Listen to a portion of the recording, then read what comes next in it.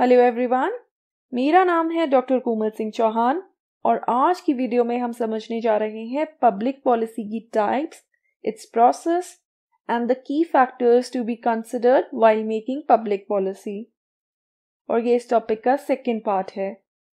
So without wasting any time let's begin previous part में हमने समझा था पब्लिक पॉलिसी का meaning its nature features and different actors involve in policy process अगर आपको public policy का मीनिंग अच्छे से समझना है तो इस वीडियो का पार्ट वन ज़रूर देखिए। फिर आपको ये वीडियो अच्छे से समझ में आएगी। पब्लिक पॉलिसी की काफ़ी सारी टाइप्स होती हैं, और हर बुक या सोर्स में आपको different types of public policy देखने को मिलेंगी। तो मैंने यहाँ लगभग सभी टाइप्स बताने की कोशिश की है। The very first type of public policy is the distributive policy distributive को आप रिलेट कर सकते हैं डिस्ट्रीब्यूशन वर्ड के साथ। तो अब आप सोचिए डिस्ट्रीब्यूटिव पॉलिसी कैसी होगी। ये ऐसी पॉलिसीज़ होती हैं जो स्पेसिफिक ग्रुप्स ऑफ़ पीपल को बेनिफिट करने के लिए बनाई जाती हैं। इनका एम होता है कि कुछ चुनिंदा लोगों को स्पेशली जो disadvantage section of the society होता है, उनको पॉलिसीज़ का बेनिफिट मिल सके। और इसीलिए ये पॉलिसीज़ बनाई जाती हैं। ये एड या हेल्प की फॉर्म में हो सकती हैं पब्लिक असिस्टेंस की फॉर्म में भी हो सकती हैं हेल्थ सर्विसेज़ की फॉर्म में भी हो सकती हैं। फ़ूड डिस्ट्रीब्यूशन भी इसका एग्ज़ाम्पल है। जैसे कि गरीबी रेखा से नीचे रहने वाले लोगों को पाँच किलो फ्री राशन मिलेगा, वो भी डिस्ट्रीब्यूटिव पॉलिसी का एग्ज़ाम्पल है। तो ये पॉलिसीज़ एक स्पेसिफिक ग्रुप को बेनिफिट पहुँचाने के लिए होती हैं। फिर आती है रेगुलेटरी पॉलिसी रेगुलेशन का तो मतलब ही कंट्रोल होता है। तो कंट्रोल या रेगुलेशन से रिलेटेड जो पॉलिसीज़ होंगी वो रेगुलेटरी पॉलिसीज़ कहलाएँगी। इन पॉलिसीज़ का एम क्या होता है? डिफरेंट डिफरेंट सेक्टर्स को चेक में रखना ताकि वो अपनी पावर का मिसयूज ना करें। और इसीलिए ये रेगुलेटरी पॉलिसीज़ बनाई जाती हैं। और साथ ही साथ ये पॉलिसीज़ मेक श्योर करती हैं कि गवर्नमेंट अपने ऑब्जेक्टिव्स को अचीव कर पा रही है through the use of regulations laws and other instruments तो रेगुलेटरी पॉलिसीज़ में रेगुलेशंस भी आती हैं लॉज भी आते हैं और रेगुलेटरी पॉलिसीज़ के एग्ज़ाम्पल हैं आरबीआई और सेबी आरबीआई या reserve bank of India bank से रिलेटेड रेगुलेटरी पॉलिसीज़ बनाता है। वहीं सेबी स्टॉक मार्केट्स को रेगुलेट करता है in accordance with the governmental policies तो ये पॉलिसीज़ अलग अलग सेक्टर्स को चेक में रखने का कार्य करती हैं। तो ये होती हैं रेगुलेटरी पॉलिसीज़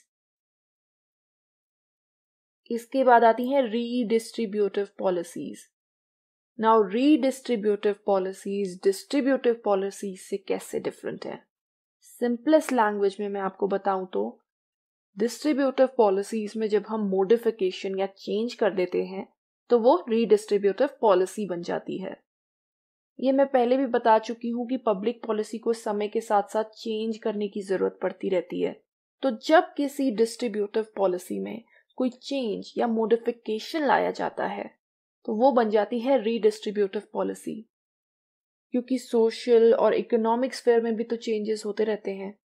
इसलिए ज़रूरी है कि पॉलिसीज़ को समय समय के साथ चेंज किया जाए। और रीडिस्ट्रीब्यूटिव पॉलिसीज़ का एम भी यही होता है कि सोसाइटी से इनइक्वालिटी को हटाना सोशल और इकोनॉमिक चेंजेस लाना, लोगों के वेलफेयर के लिए कार्य करना। इसलिए ये पॉलिसीज़ सोसाइटी के कुछ सर्टन सेक्शंस पर एम करती हैं। तो रीडिस्ट्रीब्यूटिव पॉलिसी का क्या एग्ज़ाम्पल हुआ? कि बिलो पॉवर्टी लाइन लोगों को पाँच किलो फ्री राशन मिलेगा। लेकिन उस पॉलिसी को चेंज कर दिया गया। अब नई पॉलिसी ये आई कि गरीबी रेखा से नीचे रहने वाले लोगों को पाँच किलो नहीं, बल्कि पैंतीस किलो राशन फ्री में मिलेगा। ये हो गई रीडिस्ट्रीब्यूटिव पॉलिसी इन पॉलिसीज़ के थ्रू भी सरकार यही इंश्योर करती है कि रिसोर्सेस कुछ हाथों में कॉन्सेंट्रेटेड नहीं है। फिर उसके बाद आती हैं सब्सटैंटिव पॉलिसीज़ ये पॉलिसीज़ डिफरेंट डिफरेंट इश्यूज़ को कवर करती हैं और सोसाइटी की ओवरऑल वेलबींग और प्रोग्रेस को ये अफेक्ट करती हैं। डिस्ट्रीब्यूटिव और रीडिस्ट्रीब्यूटिव पॉलिसी से ये डिफरेंट कैसे हैं?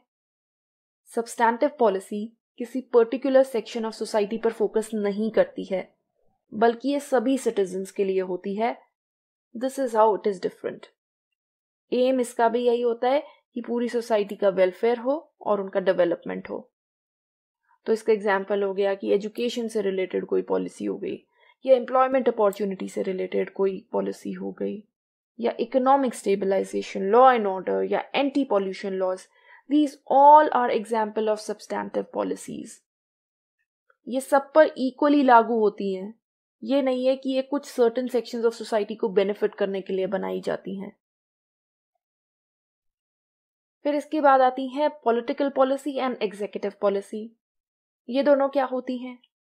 ऐसी पॉलिसी जो लेजिस्लेचर के द्वारा बनाई जाती है और मिनिस्टर्स द्वारा इम्प्लीमेंट की जाती हैं, उनको पॉलिटिकल पॉलिसी कहा जाता है। लेजिस्लेचर तो होता ही लॉ मेकिंग ऑर्गन है तो ऐसी कोई भी पॉलिसी जो लेजिस्लेचर द्वारा बनाई जाएगी और मिनिस्टर्स या एग्जीक्यूटिव द्वारा इम्प्लीमेंट की जाएगी, उन्हें पॉलिटिकल पॉलिसी कहा जाएगा। वहीं एग्जीक्यूटिव पॉलिसी क्या होती है? एग्जीक्यूटिव को हिंदी में कार्यपालिका कहते हैं।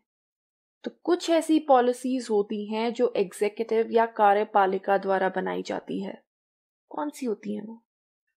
जैसे कि बजट से रिलेटेड पॉलिसीज़ तो ऐसी पॉलिसीज़ जो लेजिस्लेचर के द्वारा या विधान पालिका के द्वारा नहीं, बल्कि एग्जीक्यूटिव या कार्यपालिका द्वारा बनाई जाती हैं, उनको एग्जीक्यूटिव पॉलिसी बोला जाता है।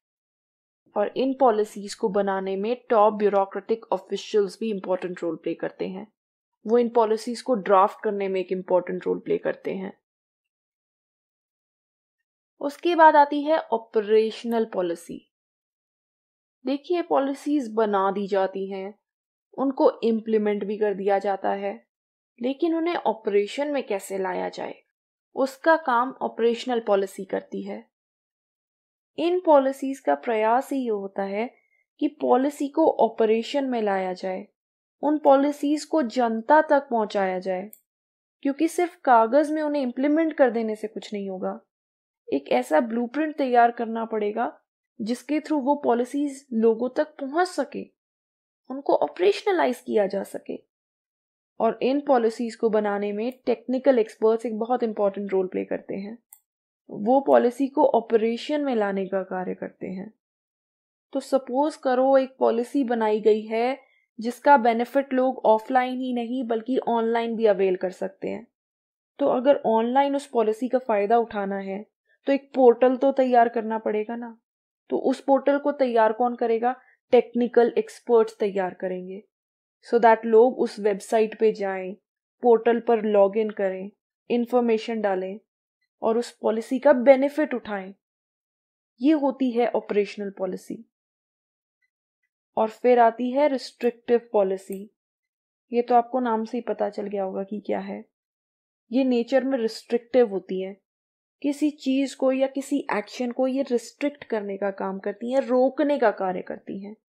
They curtail the benefits for certain type of situations और उन रिस्ट्रिक्शंस की वजह से बेनिफिट्स कम हो जाते हैं या रिड्यूस हो जाते हैं।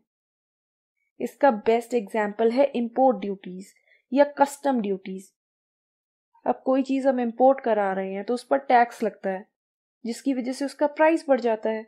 तो लोगों का बेनिफिट तो रिड्यूस हो गया, लेकिन इसका अल्टीमेट एम तो लोगों को फ़ायदा पहुंचाना ही है ना।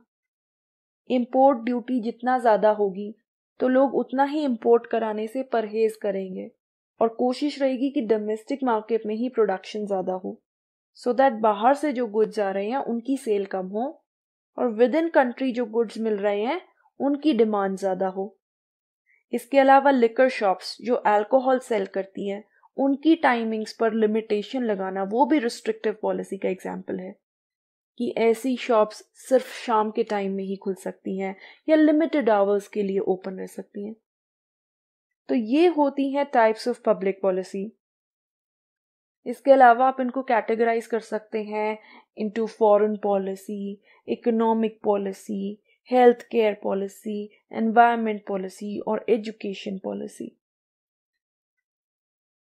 पब्लिक पॉलिसी बनाते समय क्या क्या की फैक्टर्स को या कंसिडरेशंस को ध्यान में रखने की ज़रूरत है?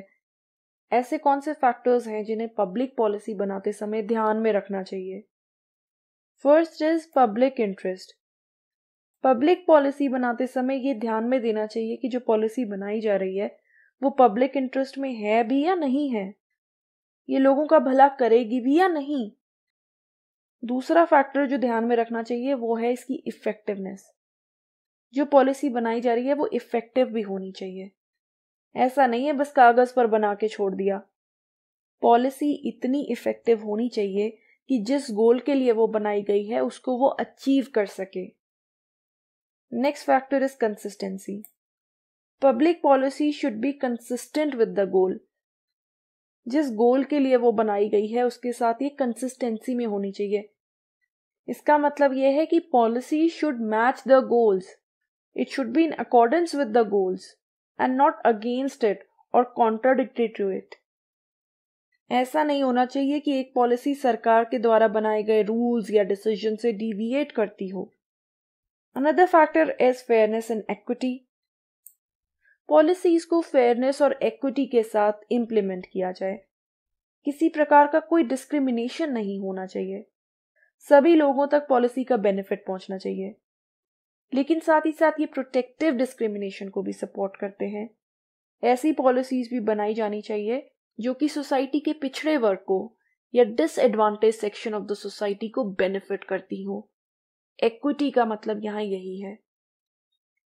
Also the public policy should be reflective public policy ऐसी होनी चाहिए जो सोसाइटी की वैल्यूज़ को रिफ्लेक्ट करे। हर सोसाइटी की कुछ वैल्यूज़ होती हैं। तो पब्लिक पॉलिसी भी ऐसी बनाई जानी चाहिए, जो सोसाइटी की उन वैल्यूज़ को रिफ्लेक्ट करे, उन वैल्यूज़ को दर्शाए, जैसे कि फ्रीडम हो गई डाइवर्सिटी प्रिवेसी या चॉइस तो ये कुछ फैक्टर्स हैं जो ध्यान में देने चाहिए पब्लिक पॉलिसी को बनाते समय। अब आ जाते हैं पब्लिक पॉलिसी की प्रोसेस पर। पब्लिक पॉलिसी मेकिंग एक बहुत ही कॉम्प्लेक्स प्रोसेस है। इसमें काफ़ी सारे स्टेप्स इन्वॉल्व होते हैं। तो वो स्टेप्स क्या हैं? सबसे पहला जो स्टेप है दैट इज़ एजेंडा सेटिंग और आइडेंटिफिकेशन ऑफ़ द प्रॉब्लम पहली स्टेज में क्या होता है कि प्रॉब्लम को फाइंड आउट किया जाता है। यहीं से पॉलिसी मेकिंग स्टार्ट होती है। प्रॉब्लम्स को या इश्यूज़ को आइडेंटिफाई करने के बाद उन पर डिस्कशंस किए जाते हैं। इस स्टेप में एनजीओ की सहायता भी ली जा सकती है। वो एजेंडा सेटिंग में गवर्नमेंट की हेल्प कर सकते हैं। तो सबसे पहले स्टेप में प्रॉब्लम को आइडेंटिफाई किया जाता है। ये देखा जाता है कि कौन सी प्रॉब्लम है जिस पर पॉलिसी बनाने की ज़रूरत है। Second is the policy formulation ये सेकेंड स्टेज होती है। इस स्टेज में क्या होता है कि जिस इशू को या जिस प्रॉब्लम को आइडेंटिफाई किया गया है, उस पर ना ही सिर्फ़ डिस्कशन होता है बल्कि एक प्रॉपर एनालिसिस होता है और पॉलिसी का एक ड्राफ्ट तैयार किया जाता है, जिसमें उस प्रॉब्लम का सोल्यूशन बताया जाता है। और ये एक बहुत ही इंपॉर्टेंट स्टेप होता है। वाई बिकॉज़ इसमें हम सोल्यूशन बता रहे हैं प्रॉब्लम का। तो अगर प्रॉब्लम ये है कि किसानों की फ़सलें खराब हो रही हैं, जिसकी वजह से वो प्रेशर में आके आत्महत्या कर रहे हैं तो उस प्रॉब्लम का एक सोल्यूशन तैयार किया जाएगा। जिसे इस स्टेज में ड्राफ्ट बोला जाएगा। और उस ड्राफ्ट में इस प्रॉब्लम से डील करने की पॉलिसी होगी। और वो पॉलिसी क्या हो सकती है? कि फार्मर्स को फाइनेंशियल सपोर्ट दिया जाएगा इन केस अगर क्रॉप फेलियर हो जाए तो। ये होती है सेकेंड स्टेज इसके बाद आती है पॉलिसी एडॉप्शन नाउ इस स्टेज में क्या होता है? कि जो पॉलिसी ड्राफ्ट तैयार किया गया है, उसे पार्लियामेंट में प्रेजेंट किया जाता है। ताकि उस पर कोई लॉ बन सके, ताकि उस पर कोई एक्शन लिया जा सके।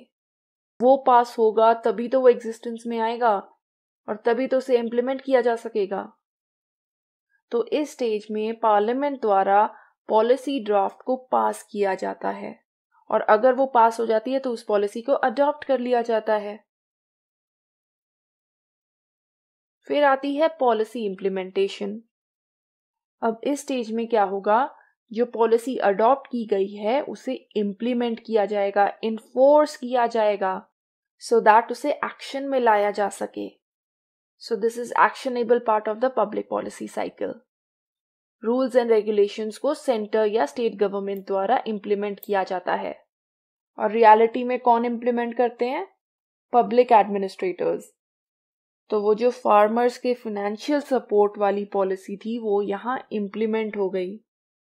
रियल में भी है ना ऐसी स्कीम? क्या नाम है उसका? प्रधानमंत्री फ़सल बीमा योजना। इम्प्लीमेंट होने के बाद नेक्स्ट स्टेप आता है इवेल्युएशन या मूल्यांकन।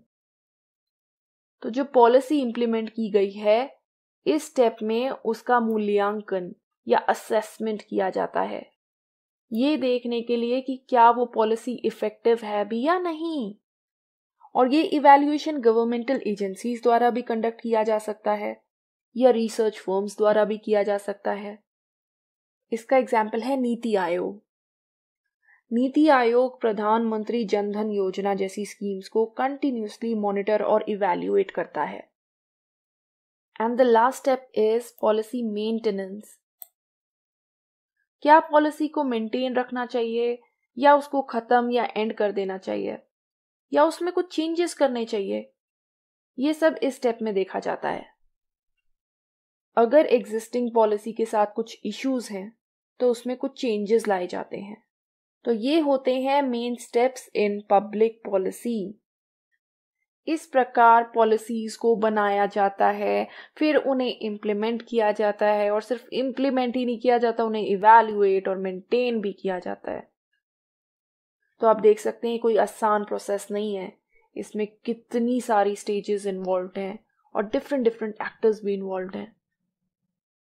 और इस तरह कंप्लीट होता है हमारा आज का टॉपिक जिसमें हमने समझा पब्लिक पॉलिसी की टाइप्स पब्लिक पॉलिसी प्रोसेस के स्टेप्स और ऐसे फैक्टर्स जो हमें पब्लिक पॉलिसी बनाते समय ध्यान में रखने चाहिए। आई होप कि आज का टॉपिक आपको समझ में आया होगा बिकॉज़ मैंने ईजिएस्ट तरीके से इसको समझाने की कोशिश की है।